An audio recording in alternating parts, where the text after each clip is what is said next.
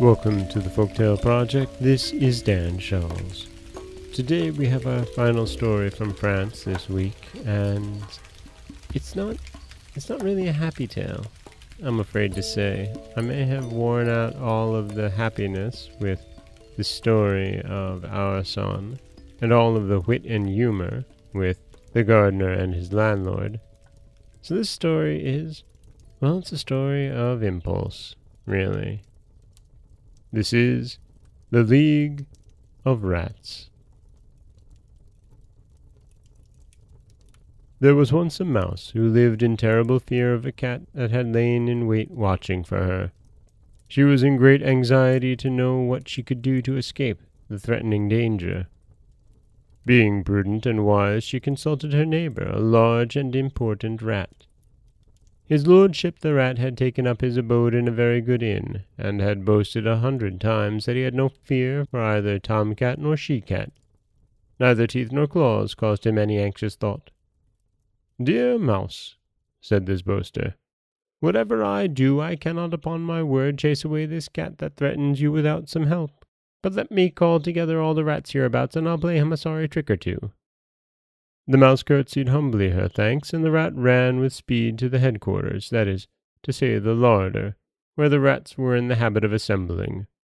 Arriving out of breath and perturbed in mind, he found them making a great feast at the expense of their host. What ails you? asked one of the feasters. Speak.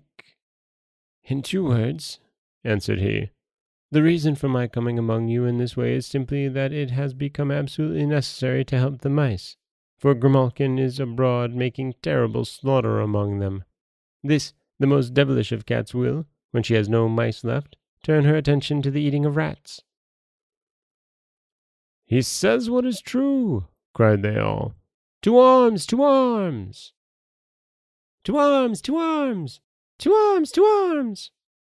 Nothing could stem the tide of their impetuosity, although it is said a few she-rats shed tears. It was no matter.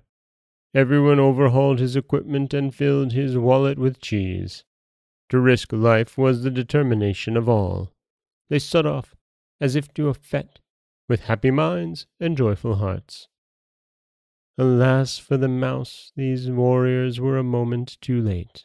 The cat had her already by the head. Advancing at the double, the rats ran to the succor of their good little friend, but the cat swore and stalked away in front of the enemy, having no intention of surrendering her prey. At the sound of the cat's defiance, the prudent rats, fearing ill fate, beat a safe retreat, without carrying any further their intended onslaught.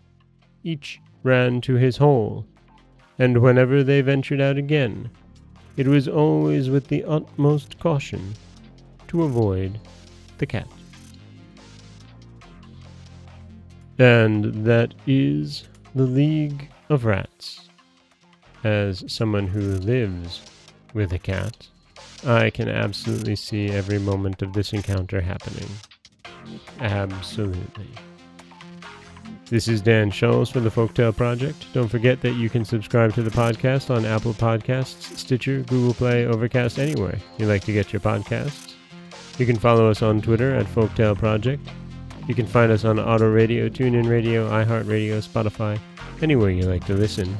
And you can always head over to folktaleproject.com where you'll find a new story waiting for you every Monday, Wednesday, and Friday.